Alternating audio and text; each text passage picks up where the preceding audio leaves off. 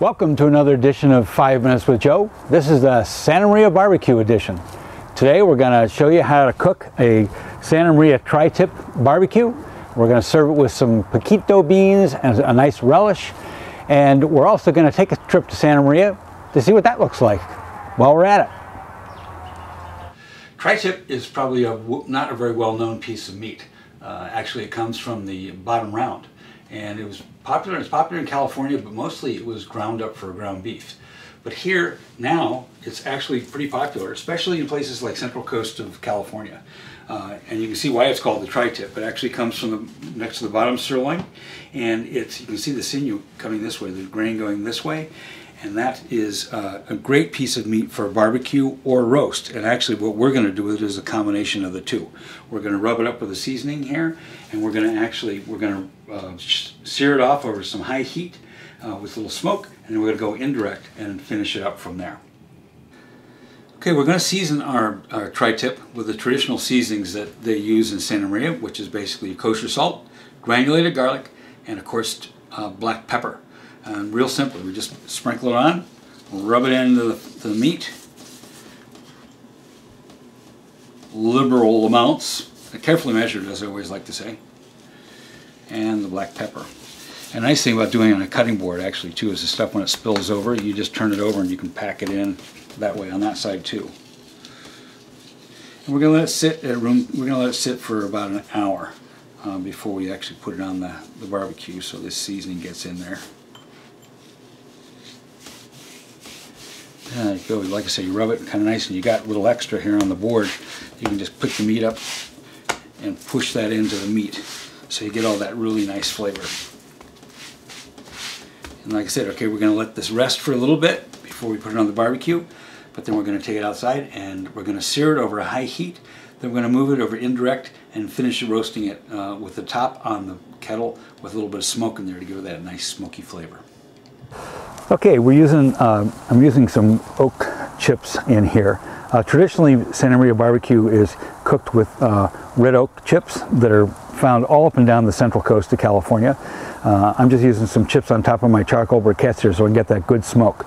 But what I want to do is I want to get a nice sear on both sides. That really adds to our flavor. Uh, and then I'm going to move it across to the other side, cover it, and that's going to finish up the cooking.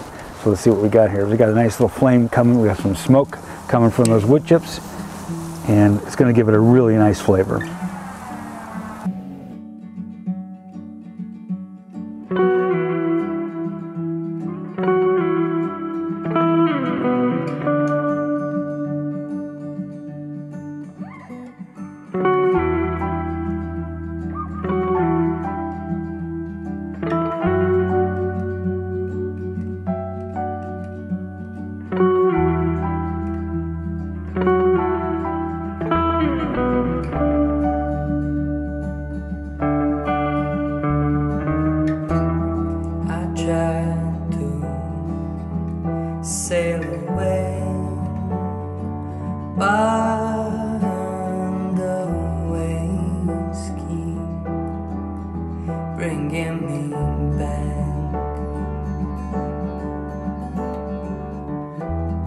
For the reasons out of this world.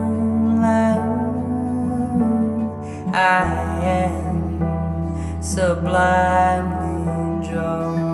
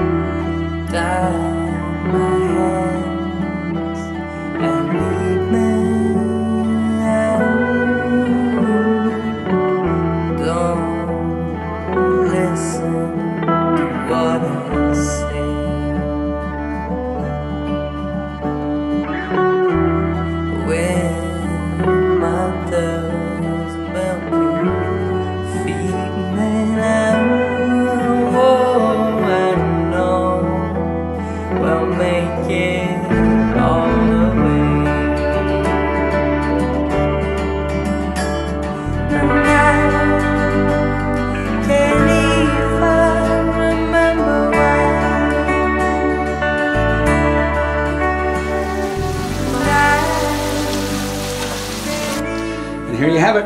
It's a beautiful meal. Here's our tri-tip that we roasted out on the barbecue. Here's the pinquito beans that you can only get in Santa Maria. A beautiful fresh tomato salsa and nice grilled French bread.